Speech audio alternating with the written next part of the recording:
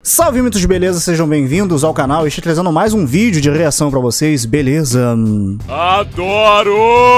O homem que queria ser Deus. Bom, de um canal que eu não conheço, é, o nome do canal é, se chama Fitória e foi uma sugestão de membros aqui do canal. Eu estarei vendo esse vídeo com vocês naquele mês que eu me disse pra vocês verem minhas reações. Eu não conheço o caso desse cara aí, seja lá quem seja ele, que queria ser Deus. Mas bora entender aqui melhor naquele mesmo esquema. É um vídeo até longo, então peço que vocês prestem atenção. Se eu tiver alguma coisa pra falar em relação ao vídeo ou em relação ao fato em si, eu estarei falando, claro. Mas caso você me veja um pouquinho calado, é porque eu tô tentando entender pra no final falar alguma coisa. Então fica até o final pra poder ouvir o que eu tenho pra falar também, beleza? Com certeza. Antes, por favor, deixa seu like, se inscreva no canal, ativa o sininho se você for novo ou nova no canal. Sejam bem-vindos. Ai, que delícia! E os haters, a poderosa Black Shark está lá, pega e beija à vontade, continuem me dando visualizações e aproveita pra nadar com o tubarão. Vem brincar comigo, vem. E sem enrolação, sem demora, bora para o que interessa, direto para o react, é claro, depois da vinheta. Valeu! ah. Alexandre na área.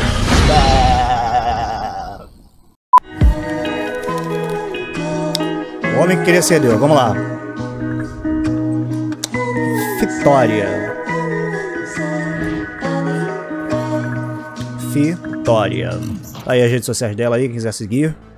Deuses sempre existiram, desde que o mundo é mundo. Eles vivem no céu, no mar, na terra, em imagens e em histórias. Ah. Entidades poderosas que curam ou destroem e todos têm um propósito. Hum. Mas existe uma criatura que não é um deus, mas se acha tão poderoso quanto um. Ele Hum. não quer ser o braço direito ou o ajudante ou o mensageiro. Ele quer ser o próprio Deus, o dono Hum. do céu e da terra. E Será que é quem eu tô pensando?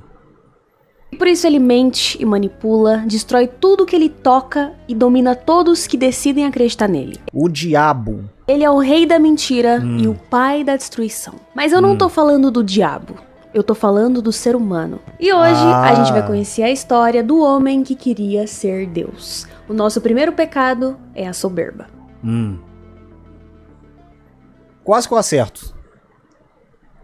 Essa Ah. história começou há muito tempo atrás, no meio da comunidade mormon dos Estados Unidos, Com todo respeito. Moça muito bonita. É verdade. quando um grupo de pessoas começou a seguir doutrinas estranhas e contrárias às crenças dos mormons, a poligamia. Esse grupo de pessoas dizia seguir o profeta Joseph Smith, o primeiro presidente da Igreja de Jesus Cristo dos Santos dos Últimos Dias, que teve pelo menos 40 esposas. Mas o Nossa. Joseph viveu em 1800 e a Igreja Mormon moderna não aceitava casamentos plurais ou a poligamia e a lei dos Estados Unidos também não. Por isso, aquele grupo foi expulso da Igreja Mormon, mas aquele foi apenas o começo. Eles se reuniram e criaram a Igreja Fundamentalista de Jesus Cristo dos Santos dos Últimos Dias, ou de maneira mais simples, Mormons Fundamentalistas. Ah, Eles acreditavam que quanto mais esposas um homem tinha, mais alto no paraíso ele chegava, e não só isso. Esse homem, com várias esposas, teria a chance de criar filhos espirituais, criar mundos, universos e galáxias. Eles seriam deuses. E quanto às esposas, elas seriam esposas. Os fundamentalistas acreditavam que Deus ainda falava com o povo através de profetas e apóstolos, e esses profetas representavam a voz de Deus na terra. E E não é só nele, nesses dos mormons, não. Isso daí é em muita, mas muita denominação que tem lá os seus pastores que também falam a mesma coisa. Não, eu sou a voz de Deus. Não, se o pastor tá falando, se o pastor tá falando é porque é Deus que tá falando. Então, mano, eu era um dos que participava de um lugar que era assim. Todo mundo viu o pastor, o bispo, até o obreiro também. Eu já fui obreiro da, da, da Pedra Universal. E muitas das vezes falam, não, o senhor falando é Deus falando, é como se fosse Deus falando. É.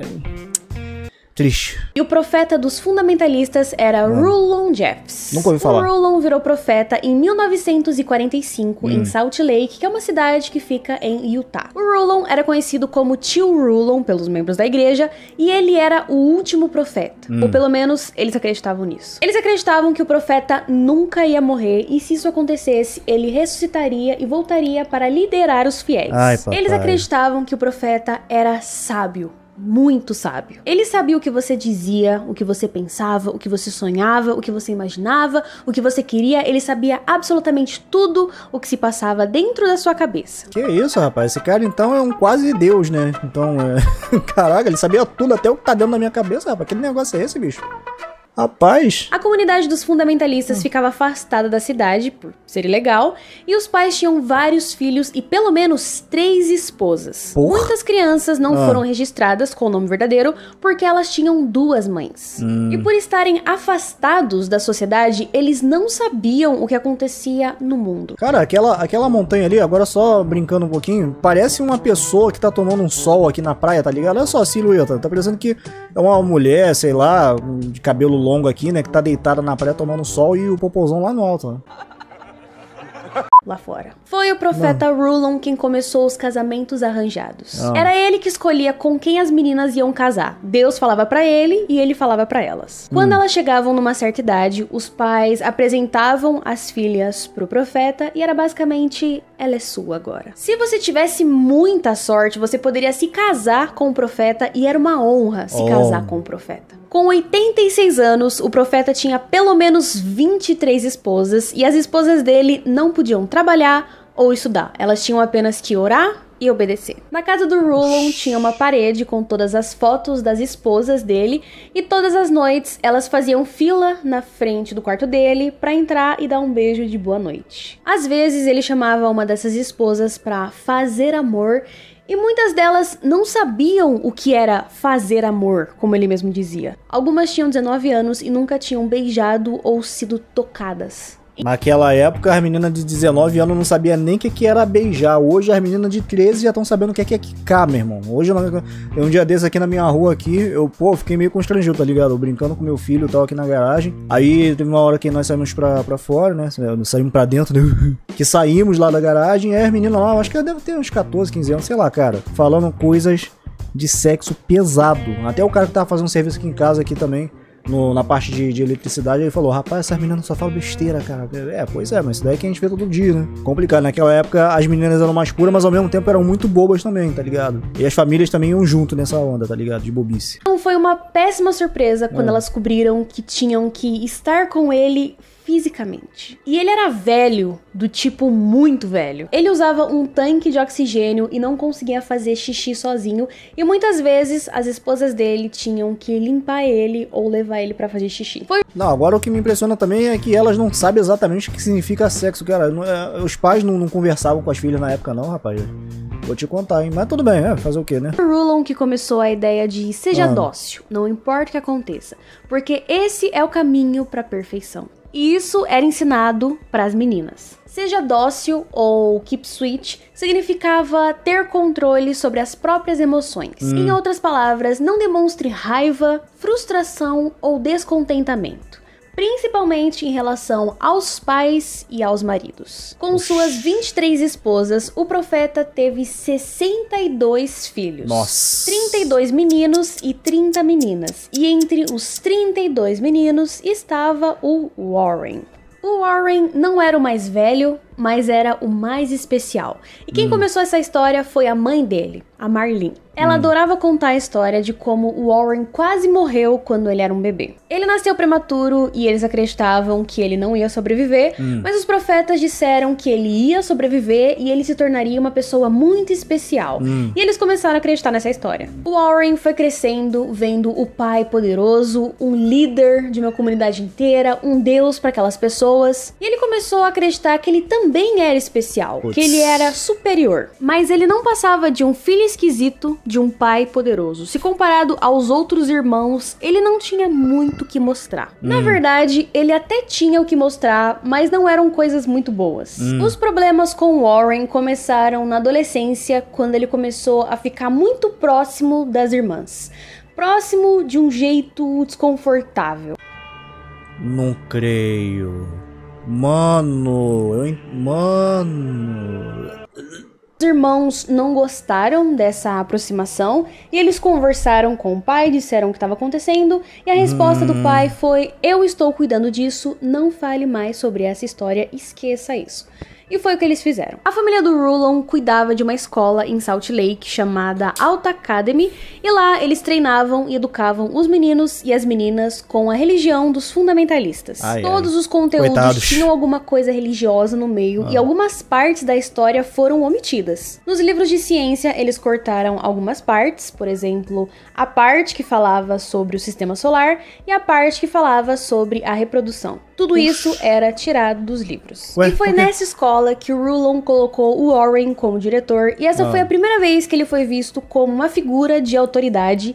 E ele gostou bastante disso. Nos primeiros dias da Alta Academy, eles tinham o dia da biblioteca, Hum. e na biblioteca tinham vários tipos de livro. Livros mundanos, como eles falavam. Hum. Até que esses livros foram tirados, porque tudo que vinha de fora, tudo que vinha do mundo, tinha que ser retirado. Warren escreveu um Pai, isso tá cheirando tão familiar, rapaz. Olha, vou te contar.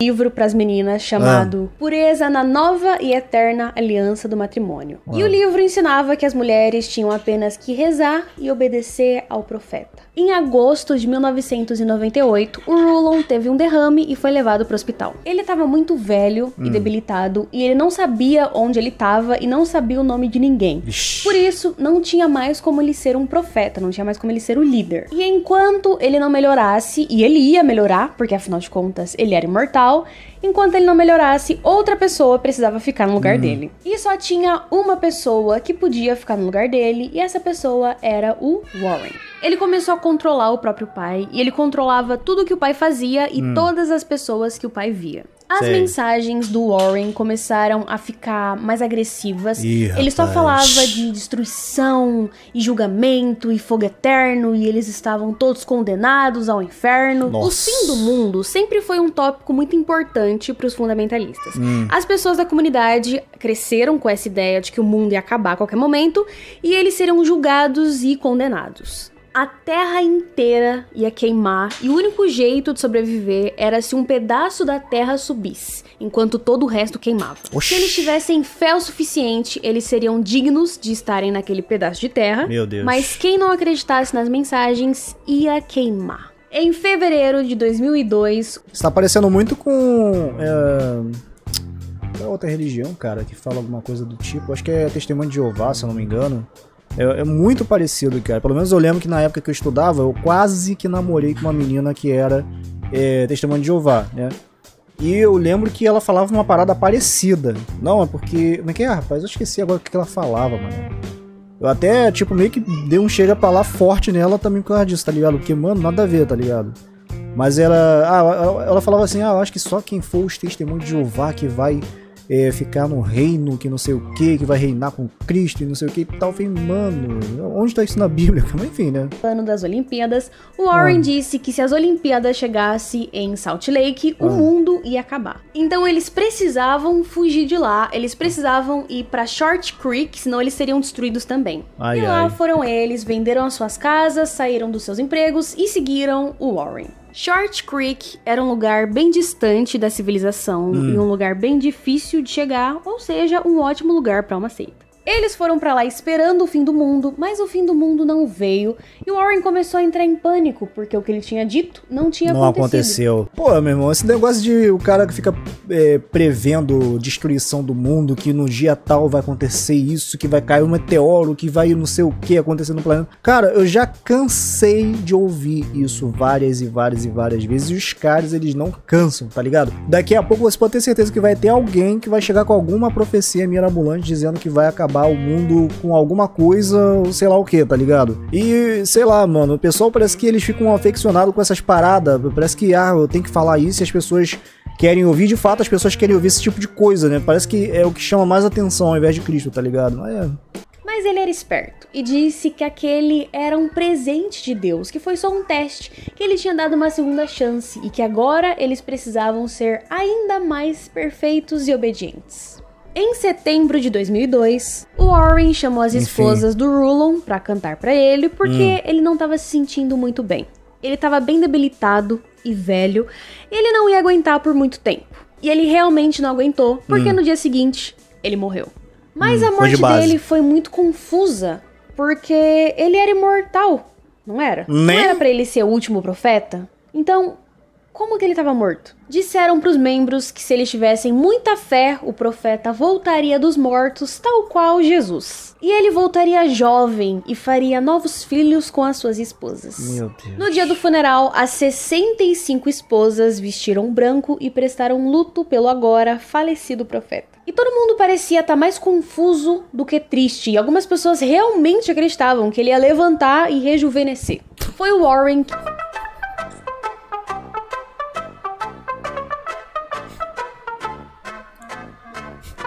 Enfim, do pai e ele não deixou nenhum irmão ficar do lado do caixão, só ele. E foi a partir daí que ele começou a se tornar o próprio pai, literalmente. Ele começou a falar como se ele fosse o Rulon, como se ele tivesse sido possuído pelo pai. E agora, o pai falecido ia guiar o povo através do corpo do filho. Mas o Warren não podia simplesmente virar um profeta. As pessoas Ah. tinham que escolher ele como um profeta. Então ele começou a chamar as esposas do pai no púlpito e perguntar pra elas quem elas achavam que seria o próximo profeta. Ele começou a colocar na cabeça das pessoas que ele seria o próximo profeta, que ele era o escolhido, e funcionou, porque ele realmente virou o profeta. O Warren chamou as esposas do pai e disse: Sete de vocês vão casar comigo. Nas semanas seguintes, mais e mais esposas começavam a seguir ele e se casavam com ele. Ai, Pro ai. Warren, elas eram esposas, mas para os membros da comunidade, elas eram as mães dele. Então ele estava se casando com as próprias mães. Algumas pessoas ficaram incomodadas com isso, mas eles não iam questionar o profeta deles. né? Depois- Porque afinal de contas, é, se o profeta tá falando, é como se fosse Deus falando, né? Então vai falar o quê, né?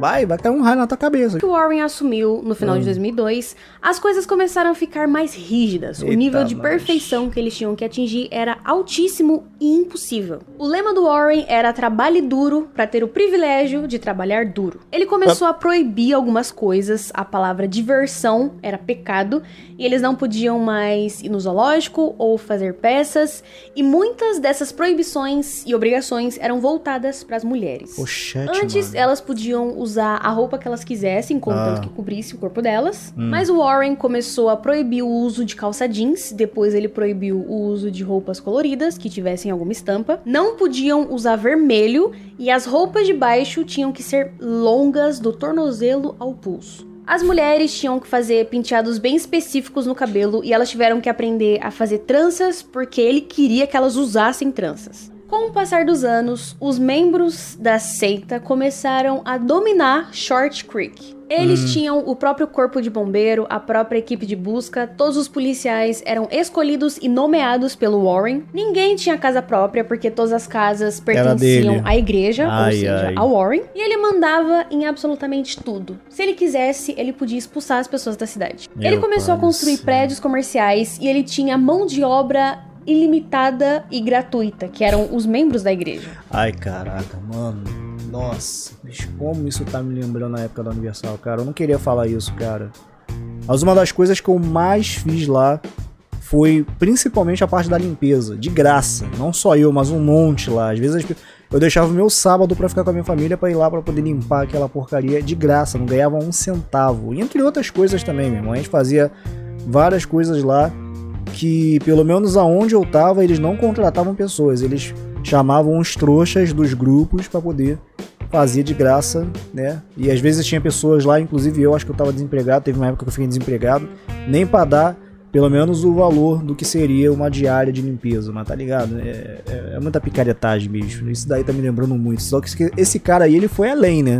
E esse cara aí, ele foi além. Caraca, bicho. Meu pai. Os meninos eram dados como mão de obra e Ah. as meninas eram dadas como mercadoria. A relação Mano. entre os meninos e as meninas era regada com medo.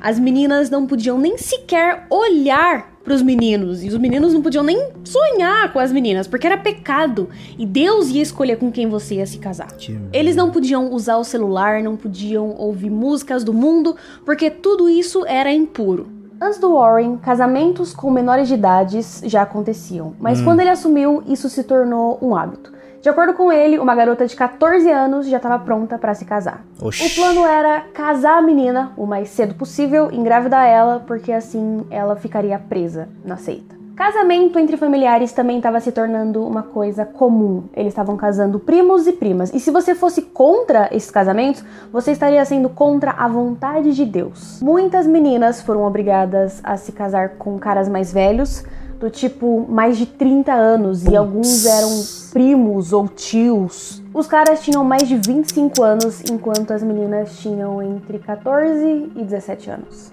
Muitas Mano. dessas meninas choraram de desespero no dia do casamento delas, porque elas não tinham escolha.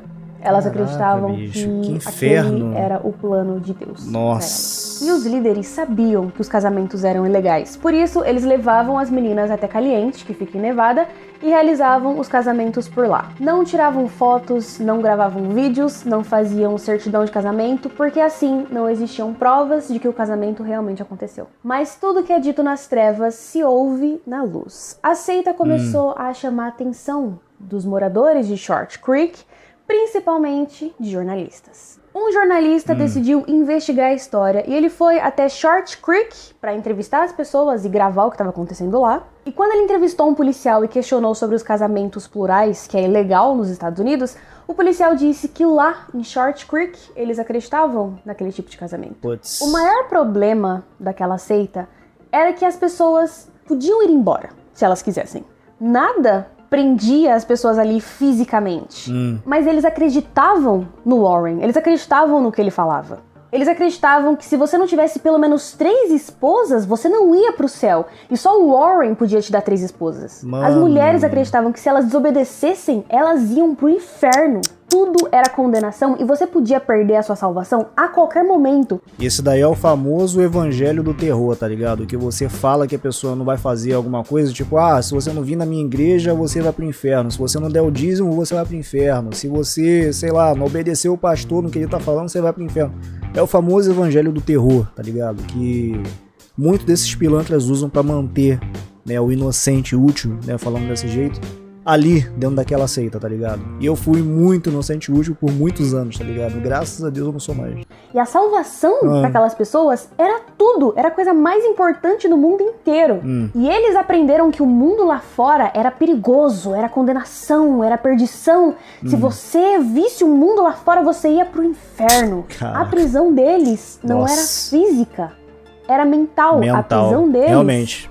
era o medo. A polícia não estava fazendo nada em relação à seita, então o jornalista decidiu entrevistar pessoas que tinham fugido da seita. Hum. E uma dessas pessoas era uma garota de 16 anos que foi obrigada a se casar com um policial de 32 anos. Quando o Nossa. jornalista levou isso pra mídia, o caso chamou atenção pela primeira vez e esse policial foi preso. Esse policial foi preso e julgado. A sentença não foi muito rígida, mas ela serviu de aviso pro Warren que ele não ia conseguir fugir da justiça por muito tempo. Ele sabia disso e por isso ele fugiu pro Texas. Quando Warren decidiu fugir, a seita Covarde. ficou sem um líder, mas eles ainda obedeciam o Warren. Quando perguntavam sobre ele, ninguém podia falar nada. Era um Ah. mistério. Ele tinha ido embora, mas ele deixou seguranças responsáveis pela igreja e esses seguranças iam na casa de um por um ver se eles estavam cumprindo as regras. Além disso, ele colocou câmeras na cidade inteira. Em janeiro de 2004, o Warren voltou para Short Creek e ele decidiu fazer uma reunião. O clima tava tenso, tava todo mundo nervoso, ninguém sabia o que ia acontecer, do que se tratava aquela reunião. O Warren subiu no púlpito e ele disse que eles estavam vivendo uma ditadura benevolente. Ele puxou uma lista com 20 nomes, Essa é nova, mano. Ditadura benevolente. nomes que Deus tinha dado pra ele. Ah. Quatro daqueles homens eram irmãos dele e outros eram figuras importantes na comunidade que podiam questionar a autoridade do Warren. Ele pediu Ah. pra esses homens ficarem de pé e ele começou a falar que eles eram traidores e que Deus tinha revelado aquilo pra ele. Esses homens tinham discordado da autoridade dele e por isso eram traidores e mereciam ser expulsos da comunidade. Eles estavam sendo expulsos da comunidade, mas as esposas e os filhos pertenciam à seita. Palavras dele, elas pertenciam à seita.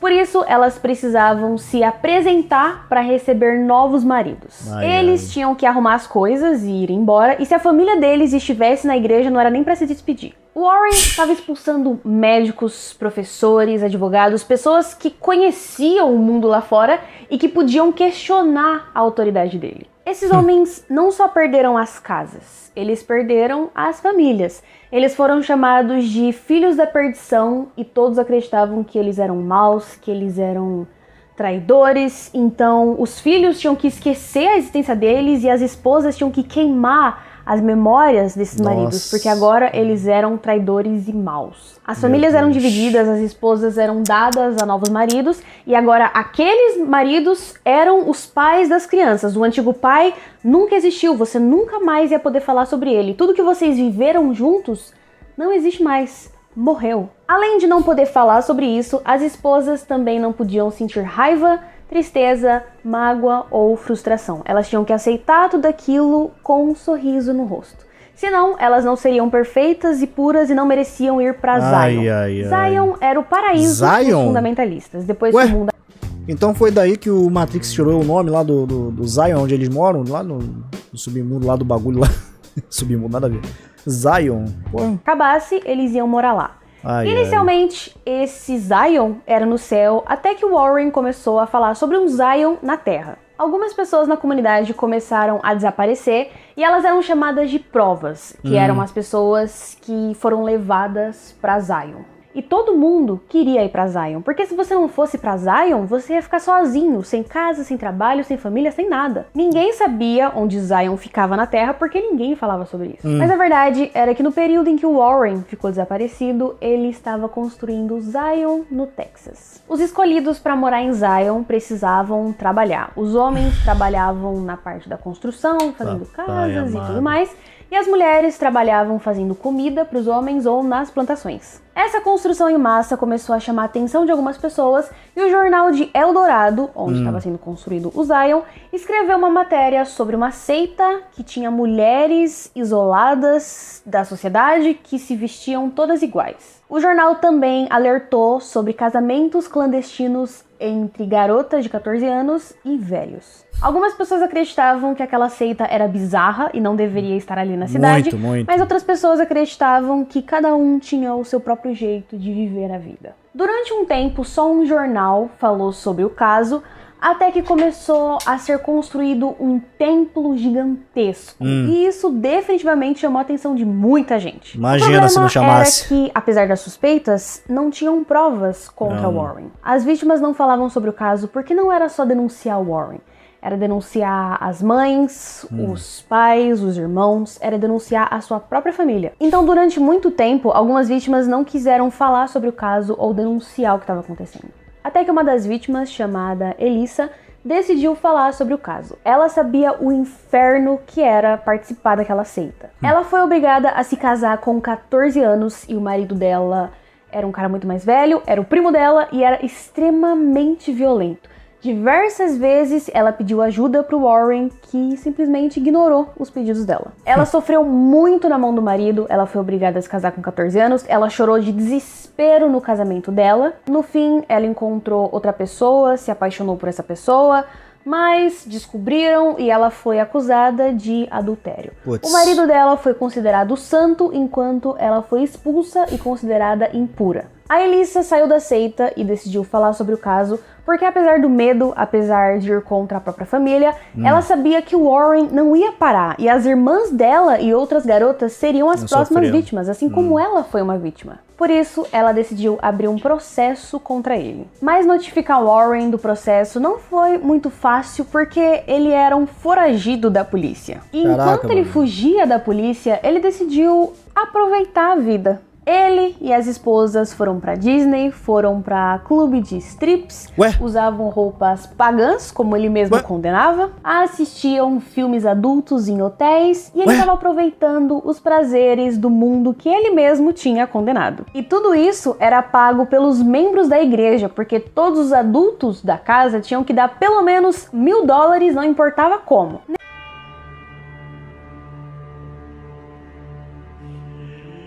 Eu tô. cara, eu. É polêmico, é polêmico. Polêmicas, polêmicas. Cara, eu tô tentando não falar o que eu tô pensando aqui. Mas vou te falar. Isso daí não é só nessa seita que aconteceu, não. Isso acontece hoje. O que tem de pastor conservador, de Deus, homem de Deus, que todo mundo fala, ó, oh, aquele cara ali quando fala é Deus falando. Tu pode ter certeza que muitas das vezes esse cara que tá condenando você ao inferno porque você tá colocando um piercing, colocando uma tatuagem ou fazendo qualquer coisa, ele é o cara que tá fazendo pior muitas das vezes, tá ligado? Eu não duvido disso. Já teve um caso que eu me lembro, quando eu tava na, na Universais, que tinha um pastor lá que ele vivia falando, fazendo pregação assim, negócio de e inferno, e sempre falava, não, porque se você faz isso, tu vai pro inferno, não sei o que, tal e tal. Se você bebe cerveja, tu vai pro inferno, porque se Jesus voltar na hora que você estiver bebendo um gole de cerveja, tu vai pro inferno. E ele foi descoberto que ele bebia para um caramba. Ele era paulista, tá ligado? E tinha uma reunião que ele tava até meio. Uh, uh, ninguém percebeu, né? Mas, né? Porque não percebeu porque não quis, porque dava pra perceber, tá ligado? Mas, enfim, é o cara que condenava quem fazia isso, mas ele mesmo fazia pior muitas das vezes. Tinha um outro que falava negócio de. de é claro, isso daí eu também não concordo que é errado realmente, negócio de pornografia e tal, beleza. Mas era o cara que também condenava os jovens, no caso, ó, cuidado com que você vê, que não sei o que, senão tu vai pro inferno e tal. Num dia a gente descobre que na sala lá que ele dormia, tava lá no canal lá do, do Vucu Vucu no Vaco Vaco, tá ligado? Mano, vou te contar, bicho, olha, é, é muita hipocrisia, cara, na moral. Nesse meio tempo, começou a surgir um boato no meio da comunidade, até que esse boato se tornou realidade. Algumas hum. famílias estavam perdendo os filhos. Algumas mães acordavam e iam arrumar os filhos e eles simplesmente tinham desaparecido. Quando Oxi. elas perguntavam para os maridos o que tinha acontecido, eles diziam que as crianças estavam num lugar melhor. Em agosto de 2006, o Warren finalmente foi preso em Las Vegas. Hum. Em setembro de 2007, começou o julgamento do Warren e no tribunal as vítimas tiveram que usar um pseudônimo e entrar escondidas no tribunal. Hum. Tinham equipes de TV, uma equipe da SWAT e atiradores nas rochas ao redor do tribunal. Caraca. Tudo isso porque tiveram boatos de que algumas pessoas Nossa. sabiam quem eram as testemunhas e eles estavam dispostos a fazer de tudo para proteger o profeta deles. Os advogados do Warren disseram que aquela era uma perseguição religiosa, mas hum. a acusação queria deixar claro que eles não estavam atrás do Warren pelas crenças dele, e sim porque ele estava casando meninas menores de idade. Hum. Quando a Elissa testemunhou e contou o que o marido fez com ela, a defesa do Warren tentou descredibilizar a história. Eles disseram que hum. aquilo só tinha acontecido porque a Elissa queria, porque ela era o tipo de pessoa que gostava daquele tipo de atenção. Mas acusar a vítima não foi a melhor estratégia usada pela defesa, e no ah. dia 25 de setembro de 2007, o Warren foi considerado culpado.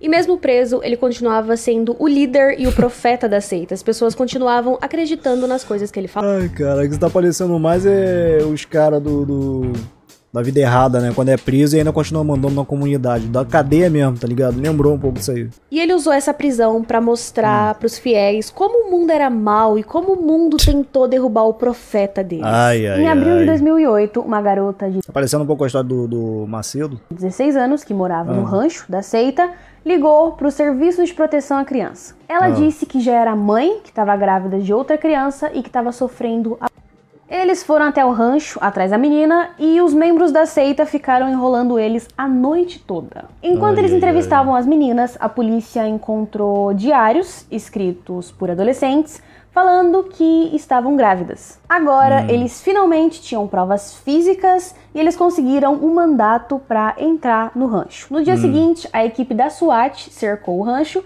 e o xerife da cidade foi até lá. Além de hum. vários policiais armados, começaram a chegar ônibus e o pessoal da seita começou a entender que eles queriam levar eles para algum lugar. Hum. O xerife tentou convencer algumas pessoas a entrarem nos ônibus, mas eles não queriam entrar porque eles não sabiam o que estava acontecendo, eles não sabiam o que eram policiais e por eles estarem vestidos de preto, algumas pessoas achavam que eles eram demônios. E pra Caraca. polícia tentar convencer aquelas pessoas Ai, foi muito papai. difícil, porque eles não confiavam na polícia no mundo, eles não queriam ir para lugar nenhum, eles queriam ficar em Zion, porque em Zion era seguro. A polícia começou a levar as crianças e quando o juiz ordenou que eles tirassem as crianças do rancho, Hum. Ele não imaginava que tinham tantas crianças lá dentro. Eram pelo menos 400 crianças. Caraca, dentro dos bicho. ônibus, as crianças choravam, vomitavam, faziam xixi na calça. E eles não entendiam o que estava acontecendo porque eles estavam sendo tirados das próprias mães. Hum. Essas crianças foram levadas até um parque de exposições, que era um espaço grande para caber aquele tanto de criança, e em cada porta tinha um policial caso alguém tentasse fugir. Mas tinha um problema nessa história. As mães estavam perdendo os seus filhos. Elas literalmente tiveram seus filhos tomados pela polícia.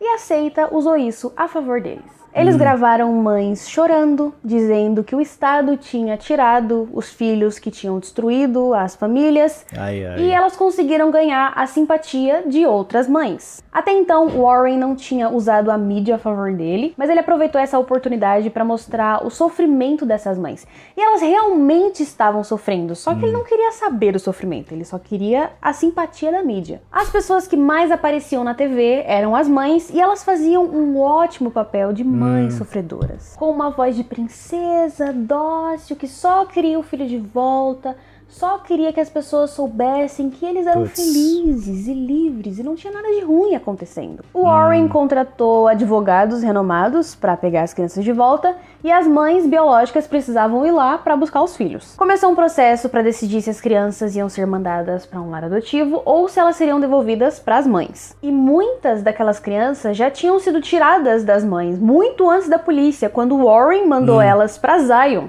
Em maio de 2008, as coisas não estavam muito favoráveis para a polícia.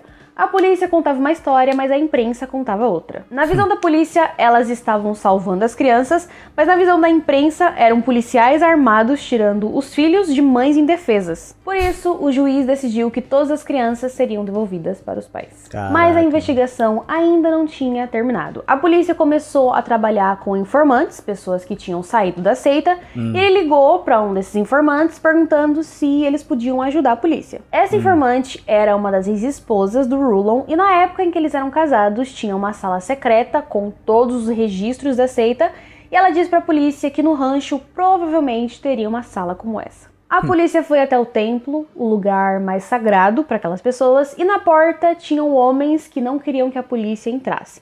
A polícia não sabia até onde aqueles homens iriam para proteger o templo. No final das contas, a polícia conseguiu entrar no templo enquanto aqueles homens oravam pedindo a destruição dos policiais. Eles entraram no templo e ele era enorme. Tinha uma sala gigantesca, toda pintada de branco, e nessa sala tinha um cofre. A polícia demorou horas, mas eles conseguiram arrombar o cofre. Lá dentro tinha uma pequena sala com todos os registros da seita.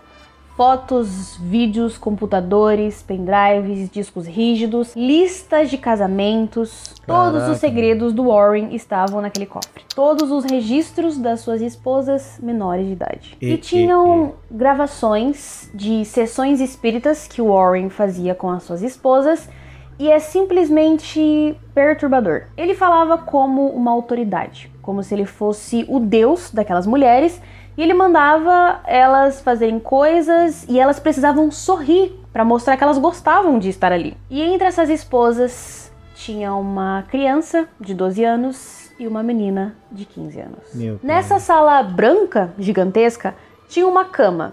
Ela parecia um altar e ela também era toda branca. Antes de encontrar os arquivos, a polícia não entendeu porque tinha uma cama numa sala vazia, mas depois que eles encontraram os arquivos, eles entenderam o que o Warren fazia naquela cama com as suas esposas. Em 2011, o Warren foi transferido para o Texas, dessa vez para ser julgado por outro crime. Ele não só casava meninas menores de idade, ele tinha se casado com elas e ele tinha relações com elas. Relações essas que foram gravadas nas suas sessões espíritas. Em Utah, ele foi condenado a 10 anos de prisão, mas no Texas a história era bem diferente. No tribunal, eles mostraram as gravações, inclusive a gravação com a criança de 12 anos, e não tinha defesa no mundo que ajudasse esse cara. Ele foi considerado culpado e condenado a 100 anos de prisão e Uou. mais 20 anos. Caraca, Atualmente, bicho. a Igreja Fundamentalista de Jesus Cristo dos Santos dos Últimos Dias ainda existe. E Warren ainda é o profeta deles. As pessoas da seita ainda acreditam nas palavras dele. Putz. Muitas pessoas saíram da Caraca, seita, mas muitas ficaram. E mesmo com todas as provas e todas as evidências, eles continuam acreditando que Warren, um homem depravado, mentiroso, manipulador, cruel e egoísta, é um deus. Caraca, mano. Soberba. É, mano. Roteiro Vitória Alves. Vitória Emanuele. Neil. Bom, gente, esse aí. Esse daí foi o canal da Vitória, né? É... É de quando esse vídeo aqui, cara? É de três meses atrás. Rapaz, então é um vídeo recente, né? Eu achava que esse cara tinha morrido, então, mas parece que ainda tá vivendo assim, vou fazendo merda, e tem gente acreditando nele, infelizmente, né? E isso daí é o famoso, é a famosa lavagem cerebral, infelizmente aí, que muita gente acaba sofrendo por acreditar naquele profeta, né? Muitas das vezes ali que promete rios e e fundos ali para a pessoa, né? É, se você fizer, você vai pro, é, céu, se você não fizer, tu vai pro inferno. Então, assim, são pessoas que infelizmente, não só nessa seita aí, cara, é, eu tenho que ressaltar isso porque é, infelizmente é uma realidade, não é só nessa seita, mas eu acho que é em todas as seitas. É, quando eu falo seita aqui, é no sentido religioso mesmo do nome, né? Muitas denominações é, acabam sofrendo, é, alguns os membros, né? Muitos membros ali acabam sofrendo ela vai celebrar o mesmo. É, muitas das vezes porque querem alguma coisa porque querem alguma coisa, aí o, o pastor, o bispo, o profeta, ou sei lá o que, fala, ó, oh, mas se você fizer assim, tu vai conseguir, se você não fizer assado, tu não vai conseguir tal, então a pessoa fica ali reflexionada com aquilo ali, porque quer e porque não quer, e que quer e não sei o que tal. É a famosa lavagem cerebral, né? A mistura ali com a soberba da pessoa que de fato ela quer aquilo porque quer e acabou, dane-se se é da vontade de Deus ou não.